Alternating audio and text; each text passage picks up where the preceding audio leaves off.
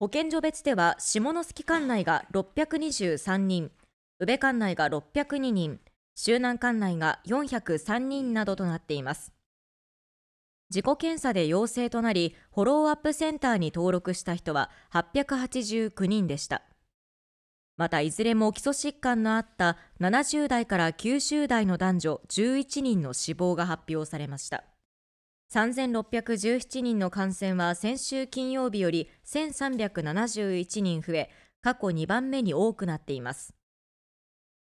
県内の感染者数は延べ26万1216人で入院者数は339人このうち重症者は5人です。病床使用率は49.3%で先月21日以来16日ぶりに50%を切っています。今日は夏香義弘監督や現役24年目となる山瀬浩二選手。そして今年新加入の松本大輔選手ら6人が山口大神宮を訪れました。昨シーズンは J216 位に終わったレノファ山口。選手たちは J1 昇格を目指し今シーズンの必勝祈願を行いました。まあ、いい意味の、え危機感を持ちながらも嬉しさというかそういったものありがたさというものをしっかりとかみしめながら、え1年過ごしていきたいなというふうに思ってます、まあ、長所は声かけと、まあ、対人のところなんで、まあ、そこで自信を持ってやっていって、まあ、チームの力になれたらすごい嬉しいです。今シーズンは松本大輔選手をはじめ新たに11人の選手が加わり明日から29人で新チームがスタートしますまあ、新たに応援されてきた側から応援する側に変わるということで違った意味でサッカーをあの楽しんでいきたいなという気持ちです。もうもちろんあの去年の積み積み上げもありますしメンバーは変わりましたけどキャンプ含めて、えー、開幕までに戦えるように、えー、準備したいと思います。開幕戦は来月18日か19日大宮アルディージャと対戦する予定です。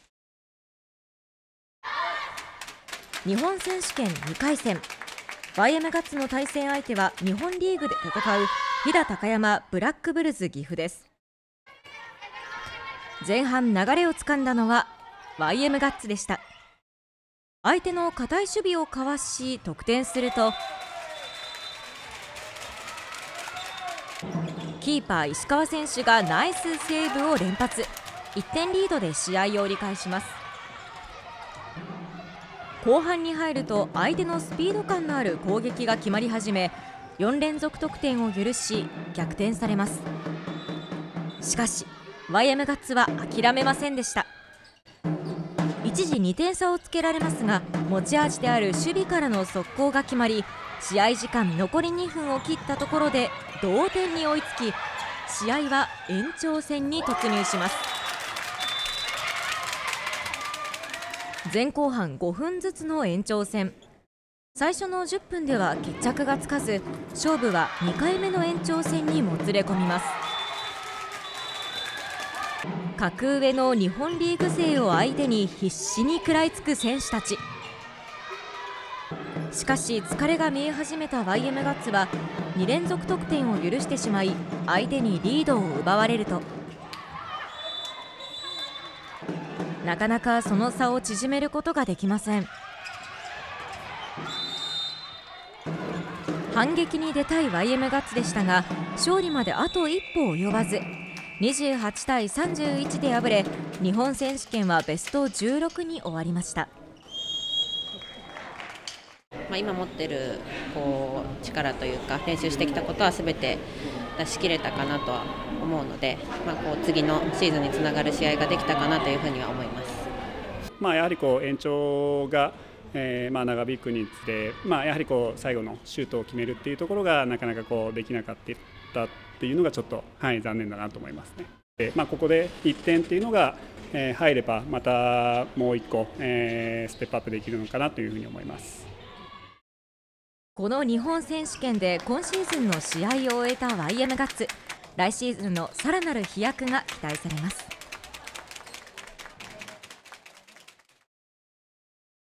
続いて春高バレーの結果です。女子の精鋭はまず3回戦で福井工大福井と対戦しセットカウント2対0でストレート勝ち。続く準々決勝でも去年夏のインターハイ3位の強豪東京第一代表の八王子実践と対戦しセットカウント2対0でストレート勝ちして2018年以来5年ぶりのベスト4進出を決めました。明日の準決勝は大阪代表の金蘭会と対戦します。自民党県連は今日選挙対策委員会を開き衆議院山口4区の補欠選挙について党本部に推薦する候補者を公募して選ぶことを決めました。公募の期間は今月10日から19日までの10日間です。自民党県連では書類審査と面接審査をして今月下旬に候補者を決定する方針です。今回の公募資格を持って応募された方々を一人一人、まあ、しっかり審査させていただいて、その上での決定をさせていただけたらというふうに思っています。山口4区の補選には先月30日に下関市議会議員の吉田真次さんが安倍元総理の後継候補として立候補することを表明していて公認を得るため応募する考えを示しています。